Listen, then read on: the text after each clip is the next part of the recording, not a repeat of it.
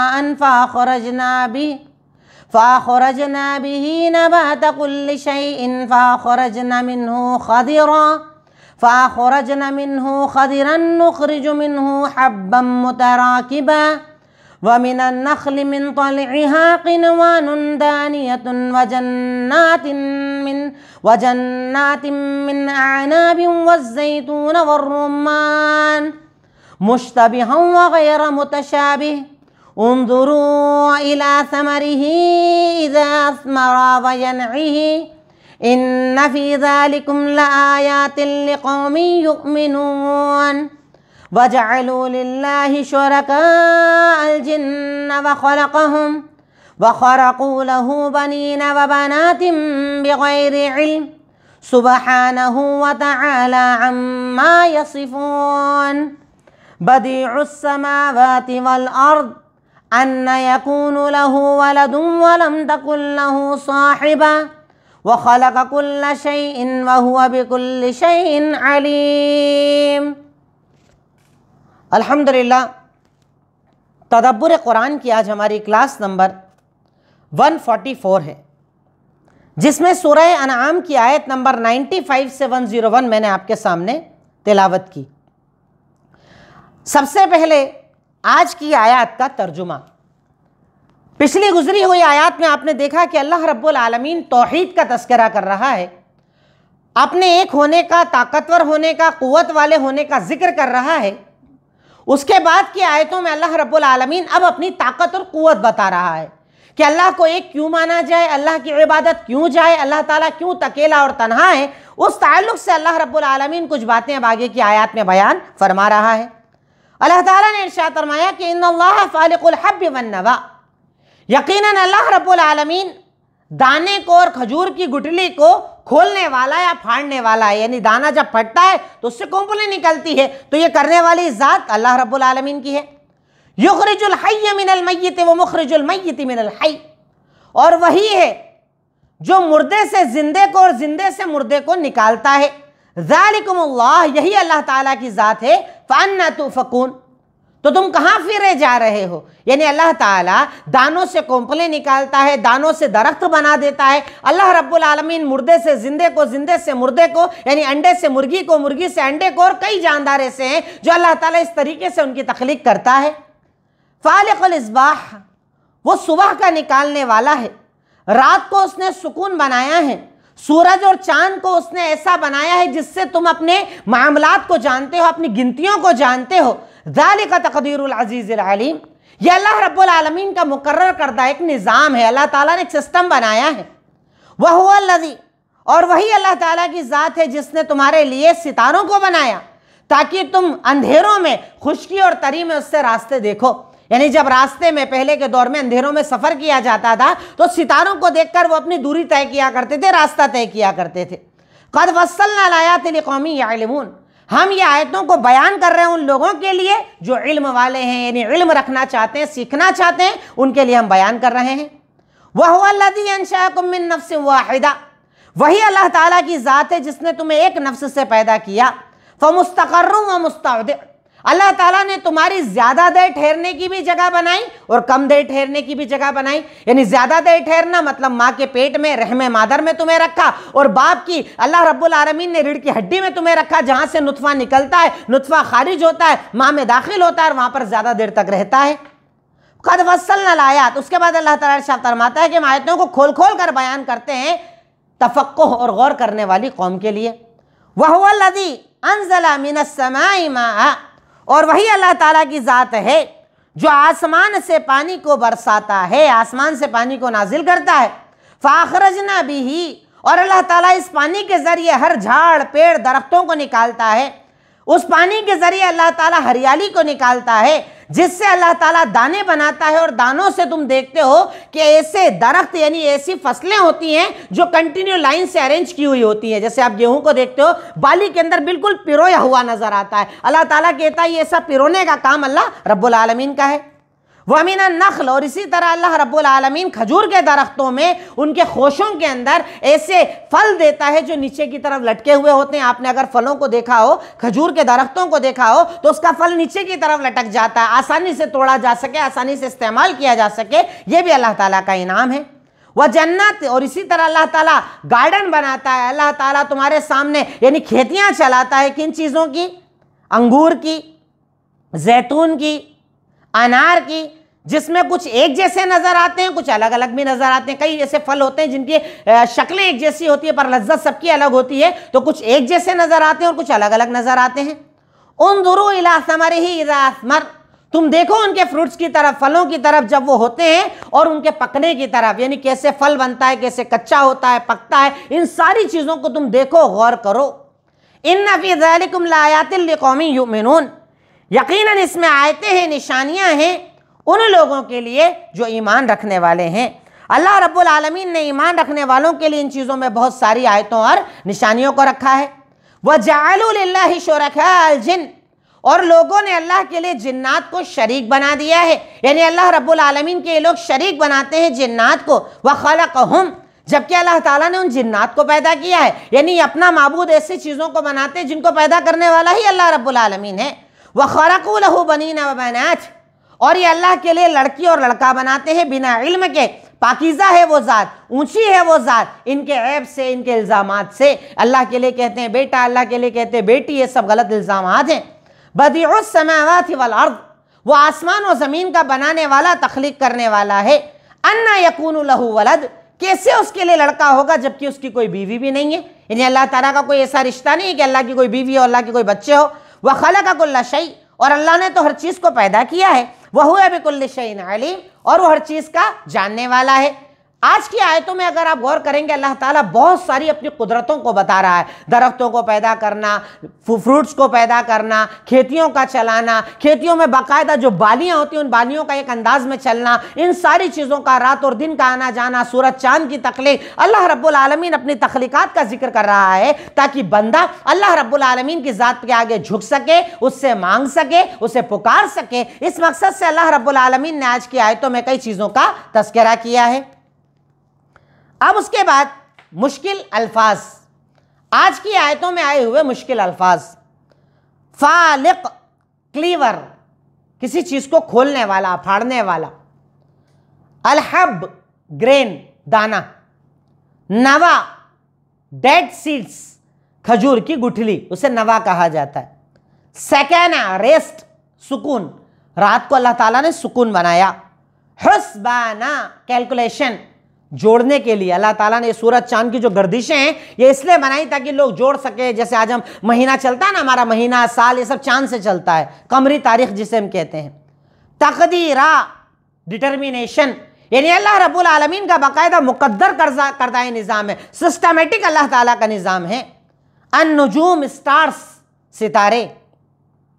अन शकुम produced produced अल्लाह ताला ने तुम्हें बनाया, अल्लाह ताला ने तख्लीक की तुम्हारी। मुस्तकर ड्वेलिंग अल्लाह ताला ने ज़्यादा देर रुकने की एक जगह बनाई, सुकून की जगह बनाई, नौ महीना बच्चा माँ के रहम में रहता है। मुस्तौदा स्टोर हाउस, स्टोर रूम जो हमारे होते हैं ना, उसको मुस्तौदा कहा जाता है अरबी में, ठहरने की जगह, कि बाप की सुल्ब में, बाप की अल्लाह ताला ने उस जगह पर, उस नुतफे को रखा, वहाँ से वो निकलता है, माँ में दाखिल होता है, और वहाँ से बच्चा पैदा होता है। खदीरा, ग्रीनरी हरियाली। हब्बम मुतराकिबा। Grains arranged in layers. यानी अल्लाह ताला ने इन बालियों में एक एक दाने को अरेंज किया है, पिरोया है। कभी आप गेहूँ की बाली को देखिएगा, पक्का बाकायदा एक जैसे दाने, एक साइज़ के दाने, एक लाइन से लगे हुए होते हैं, ये अल्लाह ताला की तखलीक है। दानिया। लो हैंगिंग डेट्स नीचे लटके हुए, खोशे, नीचे लटके हुए खजूर के जो, यानी पूरे पूरे बंडल होते हैं, जिसके अंदर खजूर लटकी हुई होती है कभी आपने देखा होगा खजूर को तो। अनाब ग्रेप्स अंगूर। जैतून, ऑलिव, जैतूनी कहा जाता है उसे। रुमान पोमिग्रेनेट अनार को कहा जाता है। मुश्तबिहन सिमिलर एक जैसे नज़र आते हैं, आपस में एक जैसे होते हैं और कुछ अलग अलग नज़र आते हैं। खराकू फैब्रिकेटेड बनाया हुआ, गढ़ा हुआ, जिसे बनाया जाए। बदी अल्लाह रब्बुल आलमीन बदी उस समावाती वाल बनाने वाला है, तख्लीक करने वाला है। साहिबा वाइफ को कहा जाता है, साथी और दोस्त को कहा जाता है, जो साथ रहे। साहिब मतलब साथ रहने वाला। तो आज की आयतों में ये कुछ मुश्किल अल्फाज थे जो मैंने आपके सामने रखे। आज की आयतों में बहुत ज़्यादा नए अल्फाज हैं, इसलिए आज ज़्यादा अल्फाज आपके सामने आए। अब बात करते हैं तदब्बर। आज की आयतों पर हमने क्या गौर किया? आज की आयतों से हमने क्या जाना? नंबर वन अल्लाह अपनी खिलकत और कुदरत का बयान कर रहा है कि ऐसा करना मखलूक की ताकत नहीं है। अल्लाह अपनी खिलकत और कुदरत का बयान कर रहा है कि ऐसा करना मखलूक की ताकत नहीं है, कोई मखलूक ऐसा नहीं कर सकती है। तुम अल्लाह के सिवा किसी की इबादत मत करो। वो दानों को फाड़ने वाला, कुंपलें निकालने वाला, बालियाँ लगाने वाला, आसमान, ज़मीन बनाने वाला, यानी यहाँ पर अल्लाह रब्बुल आलमीन अपनी खिलकत और कुदरत का बयान कर रहा है कि उसके जैसा करना किसी मखलूक की ताकत नहीं है, क्योंकि अल्लाह ताला ने तो सबको बनाया है। अल्लाह ताला को कोई बनाने वाला नहीं, अल्लाह ताला ने सबको बनाया है। नंबर टू, जिंदे से मुर्दे को और मुर्दे से जिंदे को निकालना। अल्लाह की बहुत बड़ी निशानी है।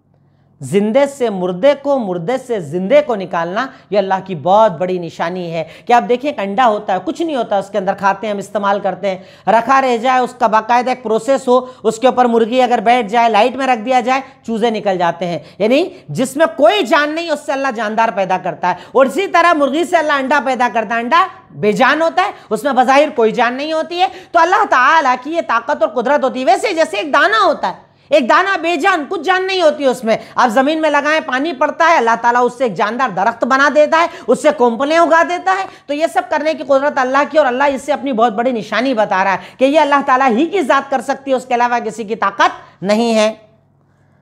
नंबर थ्री, वक्त की अहमियत का पता चला कि अल्लाह ने रात को सुकून और दिन को काम का वक्त बनाया है।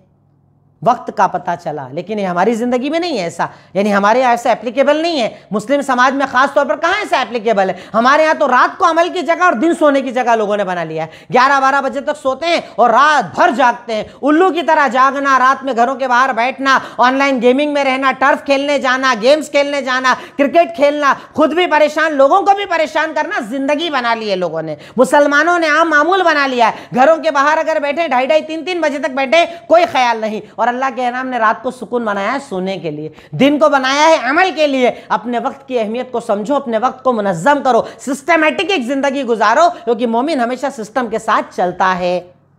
नंबर फोर चाँद, सूरज। अल्लाह रब्बुल आलमीन ने वक्त और रास्ते बताने के लिए भी पैदा किए हैं। यानी वैसे तो चाँद सितारों के अल्लाह रब्बुल आलमीन ने बहुत सारे मकसद बताए कि अल्लाह ताला ने चाँद को क्यों बनाया, सितारे को क्यों बनाया, आसमान को सजाने के लिए, इसी तरीके से शैतान और शैतान को मारने के लिए। पर एक काम अल्लाह ताला चाँद सूरज का बता रहा है कि इसके ज़रिए तुम अपना वक्त और अपने रास्ते तय करते हो। महीना पता चलता है, दिन पता चलता है, साल पता चलता है। इसी तरीके से इसके ज़रिए एक अमल और होता है कि इसके ज़रिए आप लोग अपने रास्तों को मुतन करते हैं, किस रास्ते पर आपको चलना है, किस रास्ते पर आपको जाना है। ये तमाम चीज़ें बंदा आसानी के साथ तय करता है और इस ज़रिए से वो अपने रास्तों को आसान करता है। यानी अल्लाह रब्बुल आलमीन यहाँ पर भी बड़ी एक अहम बात हमें यहाँ पर ये चीज़ हमें बता रहा है। नेक्स्ट नंबर फाइव बंदे से अल्लाह की रहमत का पता चला कि वो नहीं चाहता कि बंदा काम कर कर के थक जाए। अल्लाह ताला की रहमत का भी पता चला कि अल्लाह ताला ये नहीं चाहता कि बंदा सारे टाइम काम ही करता रहे। अल्लाह चाहता है दिन में काम करे, रात में सोए, बदन को आराम दे, सुकून दे। और इसीलिए आप देखें कि शरीयत में पूरी रात नमाज़ को भी जायज़ करार नहीं दिया गया। एक साहबी के बारे में शिकायत की उनकी बीवी ने आके कि रात भर नमाज़ पढ़ते हैं। अल्लाह के नबी नाराज़ हो गए। तेरे बदन का हक है, थोड़ा सोया कर, फिर नमाज़ पढ़ा कर यानी अल्लाह ताला हमसे कितनी मोहब्बत और कितनी रहमत रखता है कि अल्लाह चाहता है कि हम सोए भी, जागे भी दिन में अमल करें, रात में आराम करें ताकि हमारे बदन की ज़रूरतें ज़रूरतें पूरी हो सके, उसको सुकून मिले इतमान मिले, ताकि अगले दिन वो वर्किंग के लिए दोबारा तैयार हो जाए। तो अल्लाह ताला की रहमत, उसकी मोहब्बत का भी इस बात से पता चलता है। इसी तरीके से नंबर सिक्स कुरान में अल्लाह ताला ने हर इल्म का तस्करा किया है। जैसे आज के इसमें हमें अल्लाह ताला ने एस्ट्रोनॉमी बताया।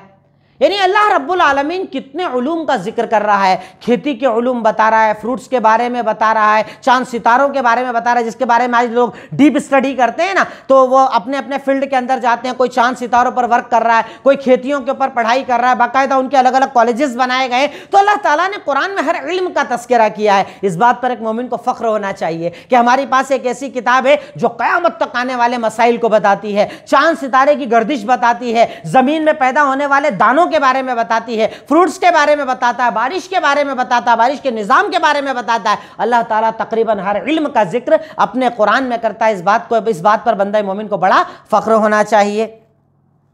नंबर सेवन, कुरान से फ़ायदा वही उठाते हैं जो इल्म हासिल करना चाहते हैं। जिनको इल्म हासिल करना होता है ना, वो कुरान से फ़ायदा उठाते हैं। और जिनको इल्म हासिल नहीं करना होता है, वो कुरान से फ़ायदा नहीं उठाते हैं। इल्म हासिल करने वाले, अल्लाह ताला का इल्म सीखने वाले, इल्म के लिए मेहनत करने वाले, कुरान और सुन्नत के लिए मेहनत करने वाले, कुरान और सुन्नत को अपनी ज़िंदगी बनाने वाले, यानी इंसान अगर सही मायनों में कुरान और सुन्नत पर गौर करता है तो अल्लाह रब्बुल आलमीन उस गौर करने की बुनियाद पर उसके लिए आसानियाँ पैदा फरमाता है, उसके लिए आसानियाँ करता है, उसे और ज़्यादा अल्लाह ताला तौफीक देता है, वो और ज़्यादा पढ़ता है, और ज़्यादा मेहनत करता है। यानी इस ज़रिए से अल्लाह रब्बुल आलमीन बड़ी इंसान की मदद करता है।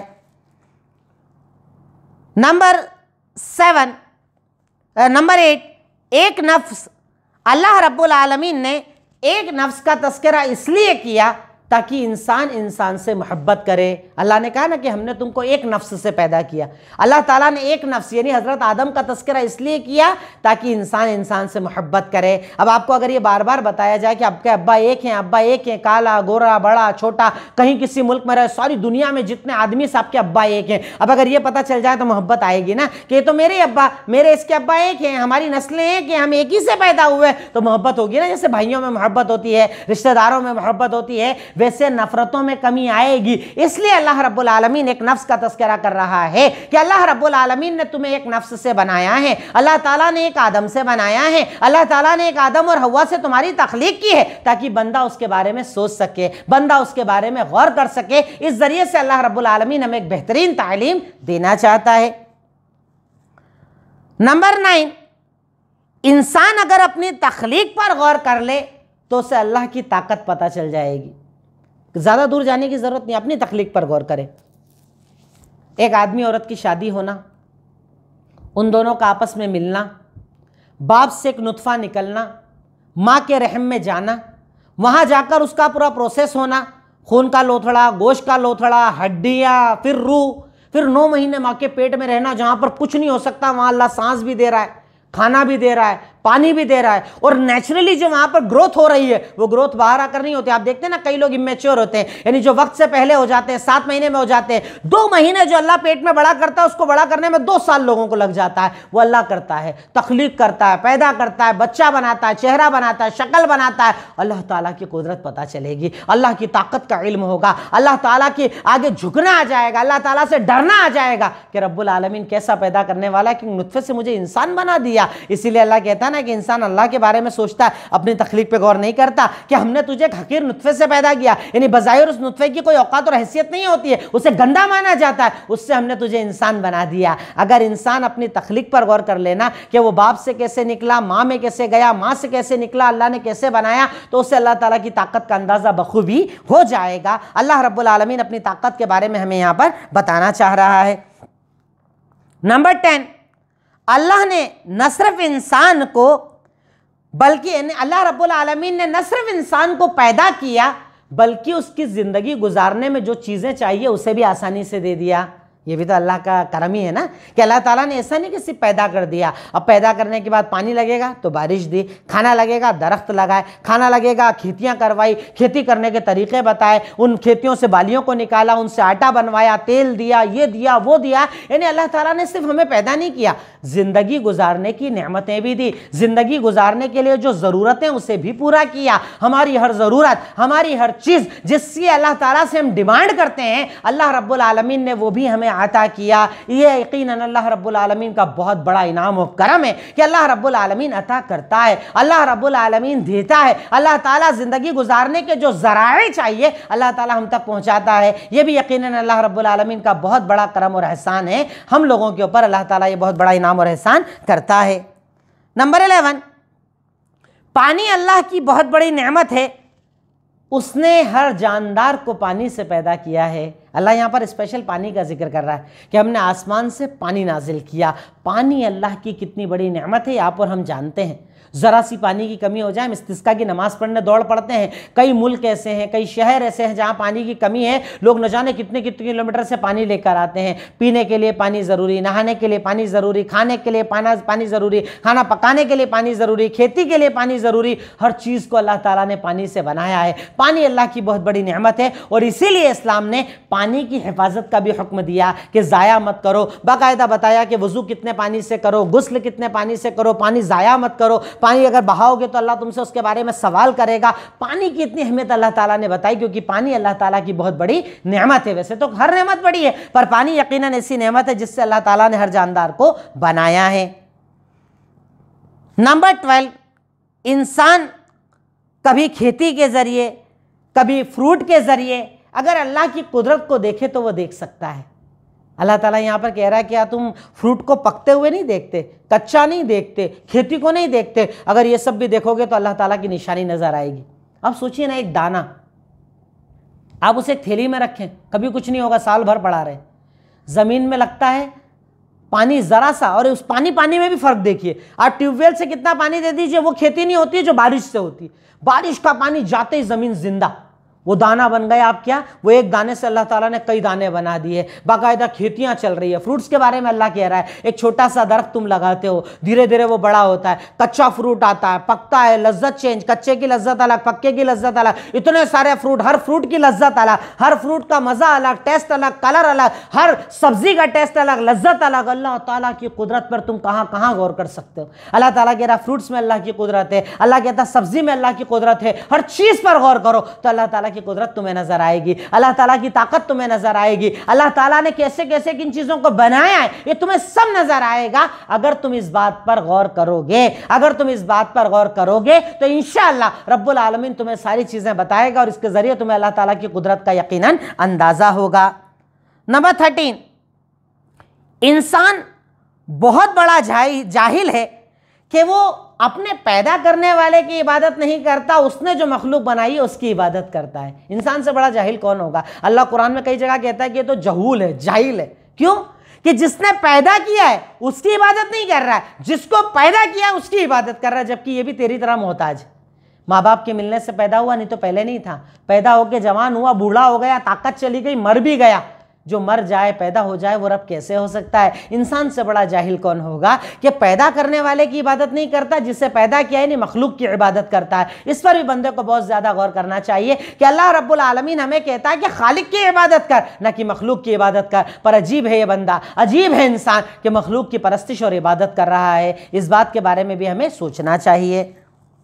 नंबर फोर्टीन, अल्लाह रब्बुल आलमीन हर किस्म के प्रेशर और दबाव से पाक है। ना उसकी कोई औलाद है, ना बीवी है। औलाद और बीवी ना होना ये अल्लाह के कमाल की दलील है। आज देखिए ना दुनिया में, कई बार औलाद के चक्कर में आदमी गलत करता है। लोन ले रहा है, दो नंबर के धंधे कर रहा है, झूठ बोल रहा है आराम कमा रहा है, जायदाद पर कब्जे कर रहा है। क्यों?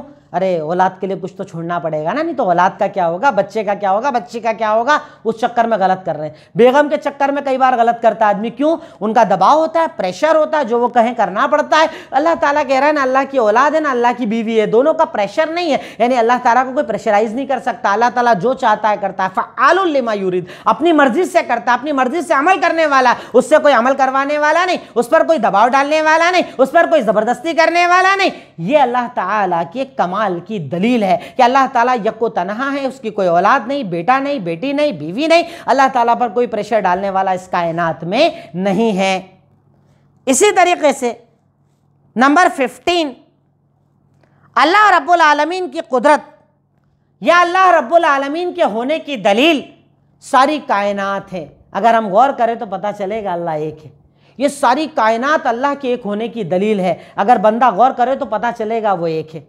क्योंकि इतना सिस्टमेटिक दो लोग मिलकर नहीं बना सकते। इंसान को सिस्टमेटिक बनाना, कान की जगह कान, नाक की जगह नाक, आँख की जगह आँखों के देखने का पूरा प्लान जो आप देखते हैं, कभी आप नेट पर सर्च कीजिए कि आँखें देखती कैसी है कलर्स को कैसे अलग अलग करती है, कान सुनते कैसे हैं, सुनने का तरीका क्या होता है, नाक सूंघती कैसे सूंघने का तरीका क्या होता है, जबान लज्जत कैसे लेती है, लेने का तरीका क्या होता है, दिल कैसे काम करता है, किडनी कैसे काम करती है, पेट कैसे काम करता है, सारे जिसम के अलग अलग अज़ा पर आप गौर कर ले, पता चलेगा बनाने वाला एक खेतियों को देखो, बनाने वाला एक फ्रूट्स को देखो, बनाने वाला एक, सब लज्जतों को डालने वाला, आसमान से बारिश बरसाने वाला, दुनिया का निज़ाम चलाने वाला, ठंड, गर्मी, हर चीज़ देने वाला, इस कायनात में एक है, उसका कोई साथी, कोई शरीक नहीं है। तो ये सारी चीज़ें, सारी मखलूक़ात इस बात की दलील है कि अल्लाह ताला एक है, उसका कोई साथी, कोई शरीक, कोई मददगार, कोई प्रेशर डालने वाला इस कायनात में नहीं है। ये भी बड़ी अहम बात हमें आज की आयतों में पता चलती है। और उसके बाद हमारा आखिरी पॉइंट होता है अमल। कि आज की आयतों पर हम क्या अमल कर सकते हैं या हमें क्या अमल करना चाहिए? नंबर वन अल्लाह की हर नेमत पर उसका शुक्रिया अदा करो। हर नेमत। खाना खाओ, कहो, अल्हम्दुलिल्लाह। पानी पियो, अल्हम्दुलिल्लाह। हर नेमत पर कहो, अल्हम्दुलिल्लाह। ये नेमत अल्लाह आपको दे रहा है। अल्लाह चाहे तो ले लेगा, अल्लाह चाहे तो छीन लेगा। इसलिए हर नेमत पर अल्लाह ताला का शुक्रिया अदा करो। नंबर टू अल्लाह की कुदरत पर गौर करो। अल्लाह की कुदरत को देखो ना आप। आसमान इतना बड़ा, ज़मीन इतनी बड़ी, पहाड़ इतने बड़े, खेतियाँ, फ्रूट्स, इंसान, ज़ात, ज़िंदगी, ये सब अल्लाह की कुदरत है। इस पर बहुत गौर करना चाहिए बंदे को, बहुत ज़्यादा सोचना चाहिए कि जो इतनी ताकतवर चीज़ें बना सकता है, उनके सामने मेरी औकात और हैसियत क्या है कि मैं अकलूँ और घमंड करूँ और तकबर करूँ। इस बात पर इंसान को गौर करना चाहिए। नंबर थ्री, रात में जल्दी सोना और सुबह जल्दी उठना चाहिए। ये एक आदत बनाओ, अमल में लाओ अपनी। कि अल्लाह ने रात को सुकून बता दिया है ना मतलब जल्दी सो जाओ। सुबह को अमल बता दिया है ना मतलब जल्दी उठकर अमल शुरू कर दो। इससे बरकत रहती है ज़िंदगी में। सुकून रहता है ज़िंदगी में इतमान रहता है ज़िंदगी में। अल्लाह ताला लज्जतें डाल देता है ज़िंदगी में। अगर बंदा अपने उस शेड्यूल पर अमल करता है। अगर आप मोमिन हो ना, मुसलमान हो ना, अल्लाह को मानने वाले, अल्लाह के रसूल को मानने वाले हो ना तो अपनी ज़िंदगी का एक शेड्यूल बनाओ, अपनी एक तरतीब बनाओ, अपनी ज़िंदगी की एक तरतीब बनाओ तो आपको अल्लाह कामयाबी देगा। वरना रात भर जाग कर रो रहे हैं कि अल्लाह कामयाबी नहीं देता, हमारा काम नहीं चलता, कहाँ से चलेगा? तूने जब अल्लाह के निज़ाम को नहीं अपनाया तो रात में जल्दी सो और सुबह जल्दी उठने की आदत बनाओ। यह अमल होना चाहिए। नंबर फोर, अपनी पैदाइश पर कभी अकेले में गौर करो। कि हम पैदा कैसे हुए? कैसे हम बाप से निकले? कैसे माँ के पेट में गए? वहाँ कैसे हमारी तरबियत हुई? कैसी परवरिश हुई? कैसे अल्लाह ने हमें इंसान बनाया? कैसे हमें हड्डियाँ दी? कैसे हमें ताकत, कुवत दी? इस बात पर बंदे को गौर करना चाहिए। अल्लाह ताला इस गौर करने पर बड़ा इन अल्लाह ताला का तस्वुर जब आप करोगे ना, आपको मज़ा आएगा। आपको अमल करने में मज़ा आएगा इन नेक्स्ट नंबर फाइव हर नमत को इस्तेमाल करने से पहले, उसे बनाने वाले को एक मरतबा याद करो। जब कोई फ्रूट हाथ में होता है ना, हम लोग कितनी इजीली उसे खा लेते हैं ना। जैसे अभी हमारे यहाँ पर एक सीताफल आता है, हम खा रहे हैं, दूसरे फ्रूट्स खा रहे हैं, पपीता खा रहे हैं, तरबूज खा रहे हैं। इन नमतों को हाथ में लेकर कभी इसके बनाने वाले के बारे में सोचा करो। इसमें लज्जत किसने डाली? टेस्ट किसने डाला? अच्छा सीज़न पर ही चीज़ कैसे आती है? बिना सीज़न क्यों नहीं आती है? अलग अलग ज़मीन पर अलग अलग चीज़ क्यों उगती है? जहाँ सेब उगना है, वहाँ सेब उगता है, जहाँ सीताफल, वहाँ सीताफल उगता है, जहाँ आम, वहाँ आम उगता है। अच्छा आम भी पूरे मुल्क में अलग अलग जगह उगता है और अलग अलग लज्जत वाला उगता है। क्यों? ये अल्लाह की कुदरत है ना? ये अल्लाह की ताकत है ना? उस रब से डरते नहीं, उस रब का डर अपने दिल में नहीं रखते, उस रब का खौफ नहीं रखते। जो इतनी ताकत और कुत वाला है, इतनी अजमत वाला है, इस चीज़ पर भी बंदा मोमिन को बहुत ज़्यादा दिमाग लगाना चाहिए, बहुत ज़्यादा गौर करना चाहिए। तो अलहमदिल्ला हम लोग हमेशा एक कोशिश करते हैं, अपनी क्लास में कि मुख्तसर सी तीस मिनट की क्लास हो, जिसमें कुरान की आयत की तिलावत, मुश्किल अल्फाज, तर्जुमा, तदब्बर और अमल, ये पॉइंट मैंने आज आपके सामने रखे। अल्लाह ताला से दुआ गो हूँ कि अल्लाह रब्बुल तो हमें कुरान सुन्नत पर जमने की तोफ़ी अता फरमा, कुरान को समझने की तोफ़ी अता फरमा, कुरान को अपनी ज़िंदगी बनाने की तोफ़ी अता फरमा। वाखिर दावाना अलहमदिल्ला रबालमीन असल वरहमल वर्का